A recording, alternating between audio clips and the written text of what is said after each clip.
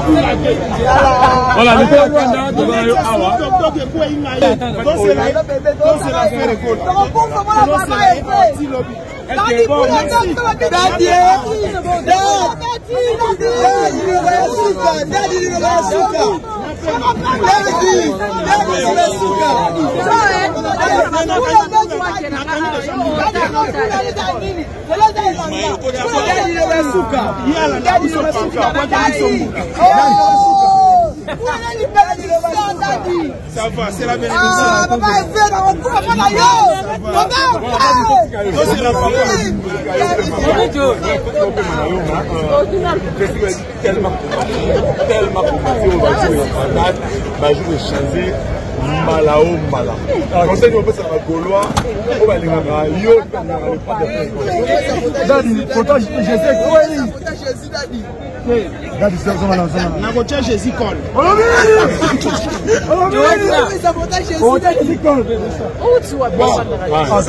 message na bagolois nyonso ya mona te baotaela nanu evenema eleka lobi nde lendi tokolakisa sikoyo tokopesa sikoyo mot d'ordre mpe tokoloba makambo esengeli toluka lelo naza na kati ya baservice spirituel moral physiquement otika na pema mpo bokoya kobungisa nga biloko mosusu ah, mbula ebeti to na elanga mbula ebetaka te na elanga mbula ebeti esbia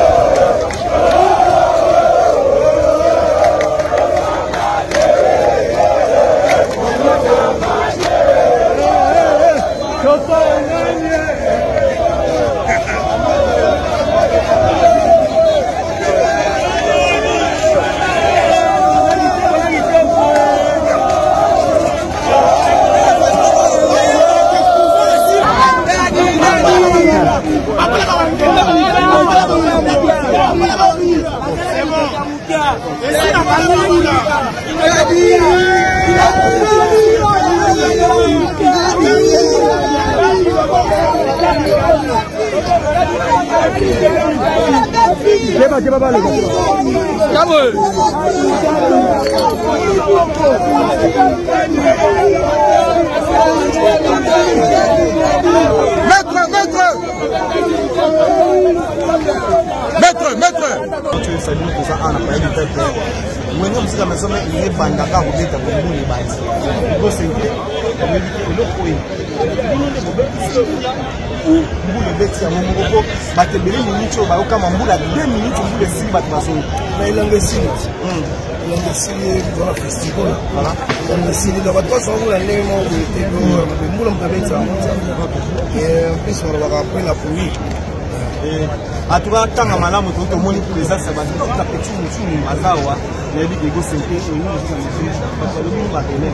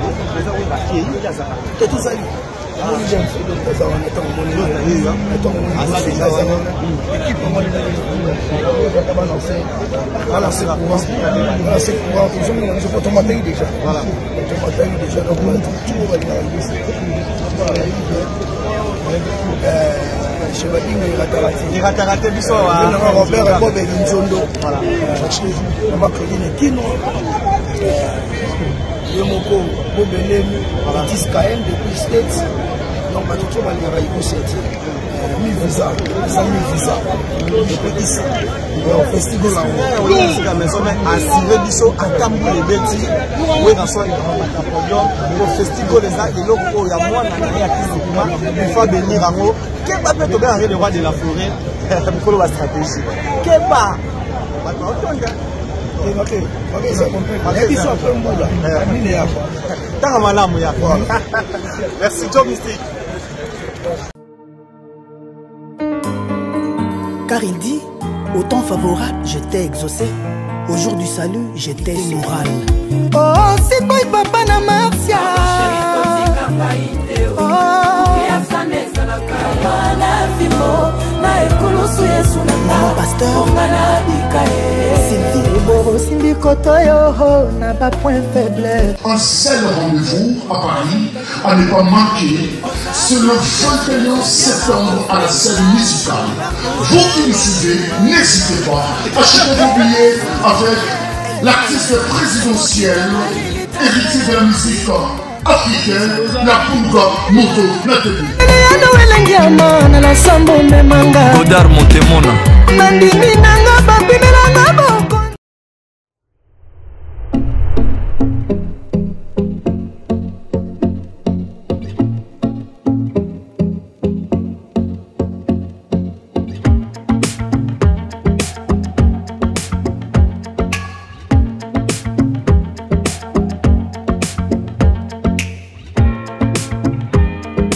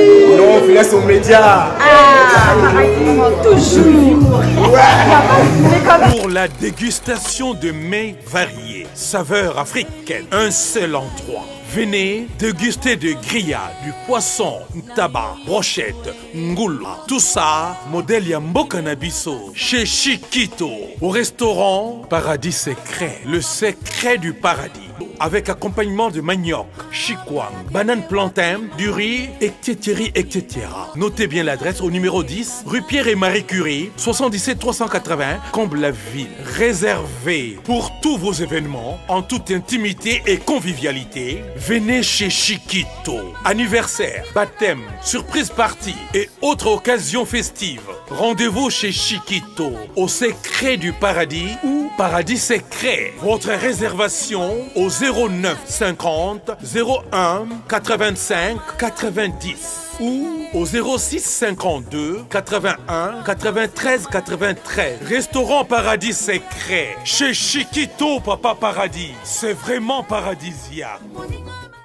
Chez Djonga. Restaurant spécialités africaines. À la portée de tous. Un cadre attrayant vous accueille 7 jours sur 7. Au numéro 2, rue François Villon, 94 230, à Cachan, en pleine région parisienne. RRB, station Arcueil-Cachan, pour déguster des mets délicieux. Choix à la carte, ntaba, cabri, brochette, kamundele, ngoulou, madesu, losonapundu, du poisson, du poulet mayo, Makayabo, bitekuteku et j'en passe. Rendez-vous chez Djunga dans une ambiance musicale modèle Yambo Cannabiso. chez Djonga.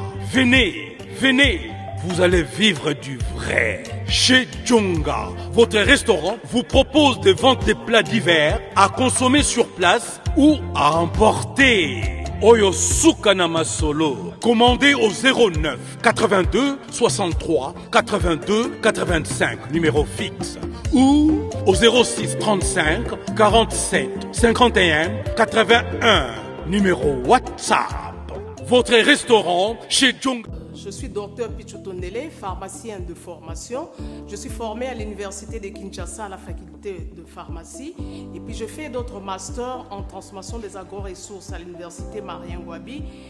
et au Canada en préparation de cosmétiques thérapeutiques naturelles.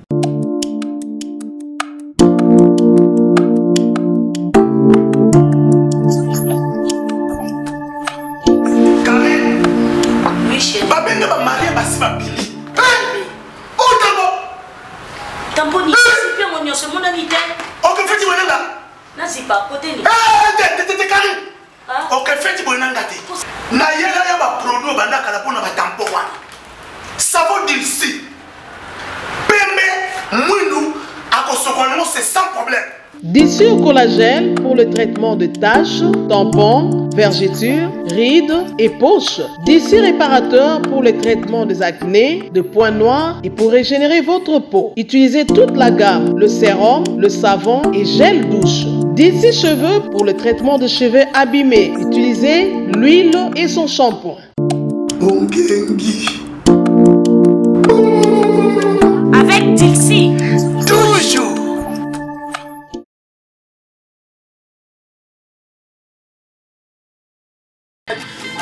Mama Rit, osanti otaba? Chez Mama Hélène Kiswemi. Bato bazalaka na Melen, oyo na Savini, oyo wapi, oyoki mposa kolia ntaba fraîche boye, oyo ngulu, démarrer voiture, mbala moko, epa Mama Hélène Kiswemi. kolia eza assure na prix mokie olie kitoko tala kaka nde na olia ta bosa ti baotumba meme temps ozolia propriété maka motu kitoko mama helene eswe masuki kaka na mambo bantaba boye te otere ape na service traiteur wana fete wana o oh, cérémonie mo peu importe bateme nyonso aza service traiteur moko hmm. botalaka nga moko ena olebo bomoni dekwa mbisi kitoko hmm. ome yokokokoko hmm, ome boni sekre noya nini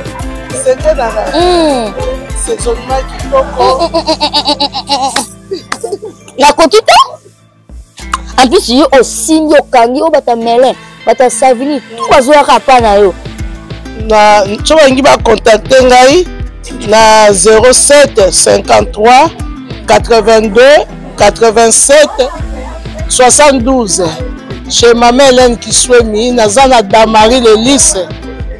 456 avenue du colonel fabien référence na biso ezali renault mosquée naza okay. tout près ya gare 12 minutes na makolo na gare okay. gare ya melin hmm. bato ya barestaurant babenga yo bato ya barestaurant nasalaka barquete nalivraka na barestaurant nalivraka na bamama oyo batekaka na bawenze nalivraka na bandako donc à partir ya 70 euros na bandako na kolivre wana nakomi biso tolia en tout cas oya chez mama eleni kisembo makasi boza desi te